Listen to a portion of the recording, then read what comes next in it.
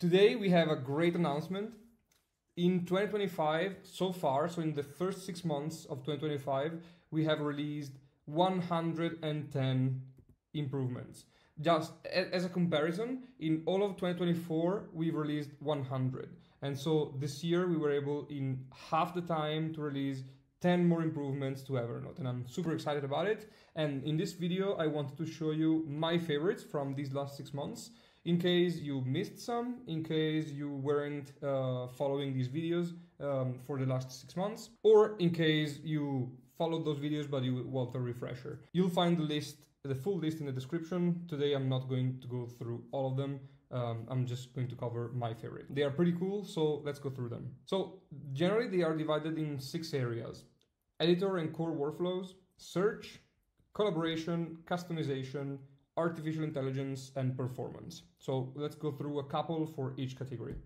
Editor and core workflows. There's a big one, which is the new template experience. You probably used it already. It was completely built from scratch. It's super cool um, and it's so much more powerful than it was before. Uh, if you haven't tried it yet, I really suggest that you do because it's much much more powerful than it was. There are also many slash command improvements.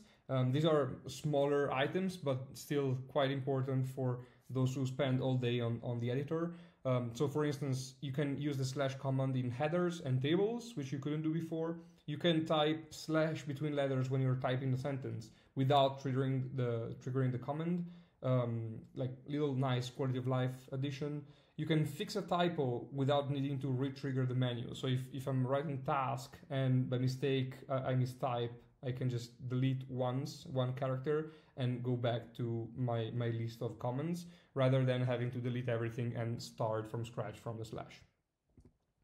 Collaboration, of course, the biggest news this year on collaboration was inline comments. It's a super powerful feature. Uh, it allows you to collaborate to a much deeper um, level of granularity on a document. You can highlight a phrase, a sentence, and um, leave a comment attached to that sentence specifically, and also have a thread of comments with your colleagues, coworkers, um, family members, etc. And there's also a smaller one on collaboration, which is the ability to request access to notes. This looks tiny and very rare as a use case, um, but you have no idea how many people actually find themselves in a place where they try to access a note, they don't have access.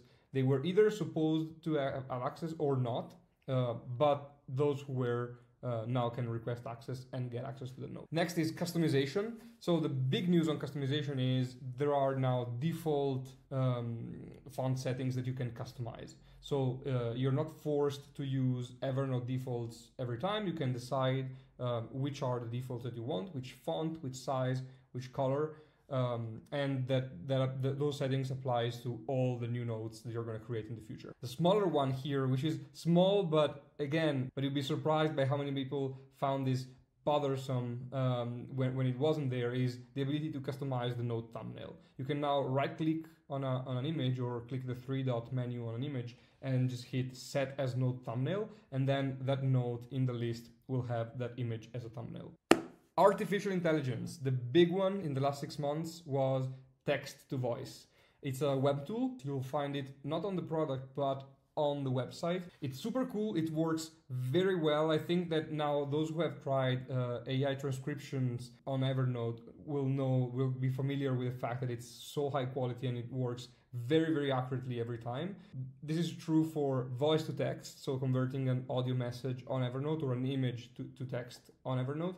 It's also the same for the opposite, so text to voice. So you paste there something that you found online or something that you're writing, and you can hear it and you can customize the voice. Super cool, give it a try. You also have now AI transcription from the, the slash command menu. Uh, it's a nice way to access it.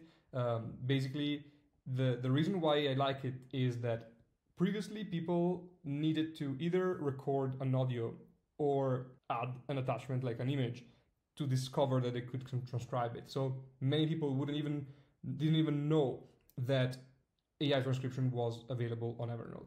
Now everybody knows, everybody who uses slash commands knows that you can do AI transcription, and so many more people are finding usefulness in transcription. And then we have performance. Now, 96% of users on iOS can load the editor in less than a second, and 97% in less than two seconds on Android.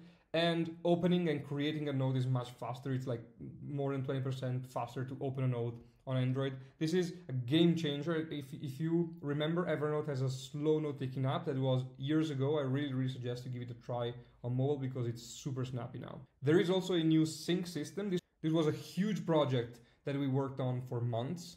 Um, you now have twice as fast attachment sync for shared notes, 10 times faster attachment sync in large accounts, and up to 300 times faster tag sync in large accounts. This is crazy, and in large accounts, you can feel the difference. I don't know about you, but I have a pretty big account, not, not the largest, but a pretty big account, and I can feel the difference. So, thank you very much for, for following along. Thank you also to those who are watching these videos for the first time. Um, I hope you stay tuned because in the second half of 2025 we have even more exciting things in store. So thank you very much and I'll see you next month.